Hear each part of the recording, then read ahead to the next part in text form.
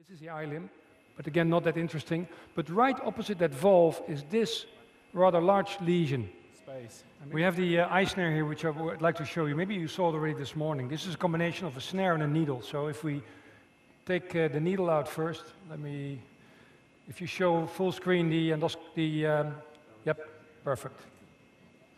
So this is the needle that already came out, and this is the, actually the hex ISNARE. So there's a hexagonal uh, form snare coming out now.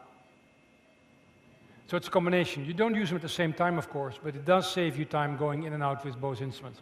Okay, let's close snare and needle, and then we'll. So I have one question, Paul. One thing that uh, we found useful with this device is because you can do the repeated injections very quickly, you don't have to exchange your catheter.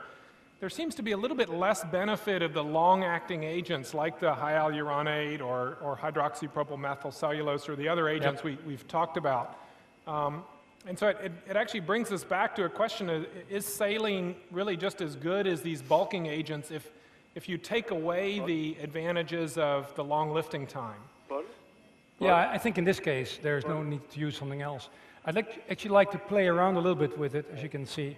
So it's really on that fold, and I think what I would normally do is try to inject uh, distally first, because then actually it will bring it forward, and then we'll, uh, we'll inject a second time in front, and then we can take it off, I guess. So we'll have the needle out, please. I selected uh, saline with a little bit of blue dye and some adrenaline. Okay, the needle is out, as you can see. I'm just slowly pulling back. And like Mike said, we'll start injecting outside the. Um, um, so we'll start injecting here before I push it in. Inject. Wait a moment. Just saline with, uh, we use the blue dye as well. I I tend to not use epinephrine for a couple of reasons, but Okay, I find it easier on the completely flat lesions to, uh, to get the snare to seat down on the tissue. On the, on the, the type 2B lesions in particular, or often the remnants of the, the, the, the flat remnants of the 2A lesions, it's sometimes very hard to get the snare to seat down on that flat tissue. And I, I find the saline a little bit easier uh, to, uh, to use. It's softer. You get a kind of a soft, like a feather pillow instead of a, a foam pillow. Yeah, I think we, we also we never actually went to the bulking agent. I think this one lifts very nicely. Yeah, that's very uh, beautiful injection. Probably just a little bit more, and then we're done. And then yeah, a little bit more. The other nice. teaching Okay, point I would make is when you get your Needle in. first injection started, your next injection, you should take advantage of the fact that you've already split the submucosal layer. And, and your next injection should go just at the edge of your last one where the submucosal layer is already split.